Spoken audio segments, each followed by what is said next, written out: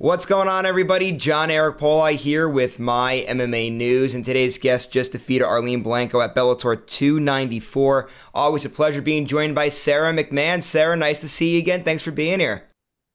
Yeah, no problem. It's good to see you too. So let's get into everything here. Before we actually get into the fight specifics or what's next or anything like that, uh, this fight for you, a bit of new territory, right? Fighting with the Bellator promotion. You were in the UFC for 12 years. Just what was that experience like of just being a part of a, a new promotion and the way they do things? And what was that whole experience like? Um, it actually was super similar to my, you know, time with the UFC. Um, Bellator is a a really high level promotion as well. So they may not um, have like as many like pay per views or like reach as many, you know. But um, other than that, they're a very professional organization. So my fight week felt almost the same. And the promotion does like every promotion does things just like maybe like a little bit different. Was there anything maybe that they did differently that you thought was pretty cool? Like I know at least one thing I like that Bellator does that might be different than the UFC is like when you guys come out to fight, you walk down that ramp and everything. I think that's pretty cool. Yeah, that that would be one of the one of the few things. It's the main thing is that like everybody is doing what they can to take care of fighters and we most times the fighters have very you know similar needs. So um also uh, they have burt watson who kind of like runs a lot of this stuff to take care of the fighters and he was with the ufc for so long so he doesn't need to like reinvent the wheel. He just takes care of the fighters needs. So in, in that respect it was just very similar. Um the the difference is i think was like fighting in hawaii. Like fighting in hawaii is always a little bit different than fighting anywhere else. It's just like a um the humidity the you know like fighting kind of like at the sea level and like that had a different feel and then fighting for like a hawaii crowd is also it has a different feel but if if any other promotion were there it would it would be the same as that yeah, but I wanted to ask you about the two fighting in Hawaii. What was that whole experience like? I mean, obviously the state's absolutely beautiful. I'm sure it had to be uh, definitely one thing you're glad you got to check off the bucket list, right? Yeah, no, I love Hawaii. Um, I'd actually fought there for Pro Elite um, before the UFC um, two times, so uh, it was really nice returning there. And then also, like Hawaii has like a real, they have a real relaxed kind of feel, but they're also like really like kind of proud, like warrior spirit there. So like fighting in that crowd, like they're they definitely really like the fighting scene, so it kind of amps you up a little bit more too. Gotcha. So let's talk now a little bit about this fight here uh, a little bit. So first off, uh, this fight, uh, 145 pounds, bit of new territory for you because uh, your UFC career mostly at bantamweight there. What was that experience like of fighting at 145? How to feel on the body and everything like that? Uh, it felt it felt really good. Um, it felt great not cutting weight. I didn't realize how much uh, cutting weight cut into my performance. Uh, so this was like a really pleasant surprise. Um, and I realized after I accepted, you know, fighting at 145, um, my wrestling career, it was 63 kilos, which is like, uh, you know, almost 139. And most of the year we fight, we wrestle at a two kilo allowance. So 143.3 is where I wrestled for a very, very long time. So I didn't realize I was actually kind of returning to that weight rather than moving up for the first time. But it was it was the first. Well, I never really fought there very much, so. And when you change weight classes too, right? It's funny because, like you were saying, right? Uh, you didn't realize the impact it had on the body. That's obviously the biggest one the fighters realize whenever they move up a weight classes, that impact on the body. So I guess two part question. Is number one, how great was that? Number one. But number two, I know a lot of times fighters will say when they move up a weight class, like the not cutting weight part is fun, but sometimes a lot of fighters will say, I still, you know, these people are a little bit bigger. I'm gonna have to pack on some muscle. They still try to do, uh, you know, make some changes with the body and everything. Do you have anything like that in store, or are you just okay with just not cutting as much weight? Um, no, I, I don't see any. If you're going to move up a weight class, why would you gain weight in order to cut again? Like, you know, well, so also, like, I think it's just for me, I've always been really strong for 135 because of wrestling just makes you very strong. So when it came to the girls at 145, like I don't have a problem manage moving them, but I don't feel comfortable. I don't feel good and I don't move good if I'm heavier than like 147. So why would I go to, you know, a weight that I don't move as well, that I feel kind of sluggish and I feel more heavy and rooted? It's hindering my performance. So I'm just going to go where I feel the best. Well, I can tell you what, uh, definitely had a great performance at Bellator 294. Let's talk about that now. Uh, how happy were you with the performance? Obviously, unanimous decision win. One judge gave you a 10 8 round in the mix. Sure, you got to be happy with the performance.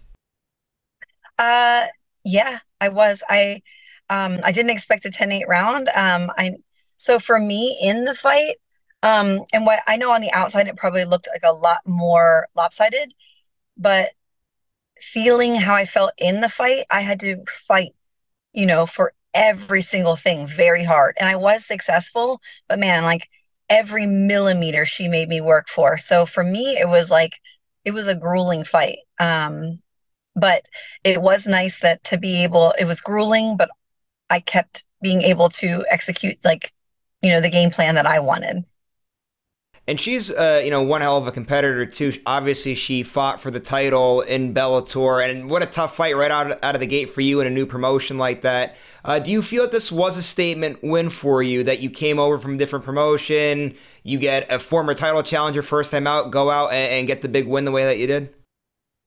Yeah, she's actually fought twice for the title. Okay, and she fought for titles for other organizations, and so um, yeah, I I really think that this puts me right in there for the for the next spot for the title. So we'll see. Um, it's obviously up to Bellator. Um, I know that they have been there's other fighters who have been fighting with them longer and who've been working towards their title contender shot. And um, I believe Cat Zingano, like the they said that the last fight she had was for a title contender. So um, I don't if if that they've already kind of decided that before my fight but we'll see what happens, you know, like I'm just getting myself ready to fight whoever. And I don't know if you saw this or not. I know you went to your post fight press conference and you called uh, pretty much essentially saying that you would love to fight for the title next, kind of like how you did here. But afterwards, Cris Cyborg, not sure if you saw it, she went to Twitter and said, I'm pretty sure that Sara McMann just jumped Cat Zingano in the rankings. I know the rankings came out, they had you one spot below her, but you think that, you know, sometimes every once in a while, whenever the champion makes a statement like that, the promotions will go that way. And do you make anything of uh, Cris Cyborg's statement there that maybe that will persuade them to give you the title shot? Well, not just yet, because she still hasn't re signed with them. So, which I appreciate the nod. Um, and I feel like I did have a great performance. Like it definitely speaks for it. Uh, but until she's re-signed with them, you know, like all of us are on hold unless she decides to do, you know, something with boxing or another promotion temporarily and then return later. And then you just kind of can't hold up a promotion. So it would it would likely be Cat and I fighting for a title. So either way, I'm just I try not to think about it as much because those decisions are so far out of my control. Um, I just am going to get back to the get back to work and you know anything I did really well in the fight, I'm going to sharpen. Anything I need to work on, I'm going to get better at. So that's just the focus that I have. And I know after the fight too, you made a, a, comment, something along the lines of, you know, you know, time's not necessarily on your side at the point in your career. Is there any frustration at all, though, that you know you hope this gets moving along sooner than later, or, or again, are you just that's not that's out of your control? You're just going to do what you have to do and be the best fighter you have to be. I'm not. I'm not stressing about that. Um, I've grown up a little bit in the MMA world, and I know that uncertainty is just a part of it and that you know like very few times can you press something and something actually happen. You know what you end up doing is just like whining on the internet. So i don't i don't prefer that. Uh and so i figure if i i just control what i can control and if i go out there and i fight hard and i put on an exciting fight they will want me to be fighting in these big fights and that's that's what i can kind of control and I know Bellator for certain is definitely going to want you in a lot of big fights. I know they have uh, big plans for the rest of the year. Is there a timeline for you, at least anyway, of when you'd like to get back in there? Or again, is that all just, you know, play it by ear, however it plays out, it plays out?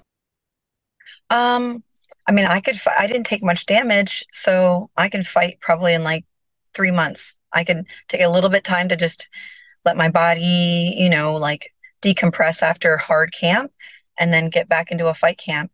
Um, I, I don't know how far out they have people scheduled for shows. I don't know, you know, like what their timeline is with Cyborg of resigning. So it's like, uh, for me, it's always for my entire career, it's like afterwards, I'm kind of in no man's land until I get a call.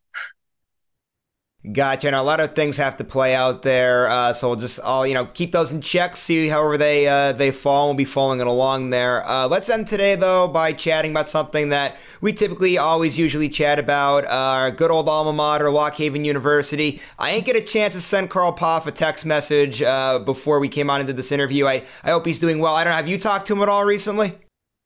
Um, he reaches he reached out to me before my fight and just you know wishing me luck and stuff like that. So uh, typically, you know, we just kind of send messages on Facebook and, you know, hope each other, you know, have our families are doing well and things like that.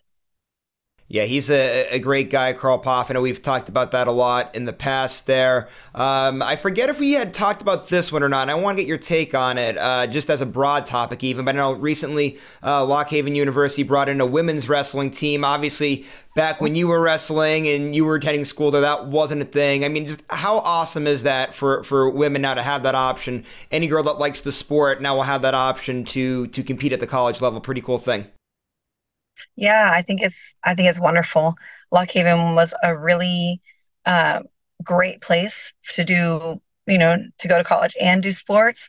But there's something really special about being in a like a state that really loves wrestling and uh, really cares about their wrestlers. So I, I think it's just a wonderful thing for women and for the the whole university. Definitely 100%. Uh, Sara, it's always a pleasure catching up with you. Uh, usually we do it before a fight. It's nice getting together after a fight now and chatting about a win here. So thanks again for the time as always. Last thing before you head out, uh, go ahead, plug your social media so people know where to follow you at. You have any uh, management or sponsorships, anything like that you got to plug? I know you, you run a gym as well. If you want to give a shout out there, any of that stuff, take it away. Yeah, um, you can just on Instagram, Sara McMann. I'm on Facebook. So it's pretty simple. Um, uh, Precision Jiu Jitsu Academy is our main gym page. Um, I have Precision Wrestling as well, but uh, other than that, you know, that's that's it. Just the pages.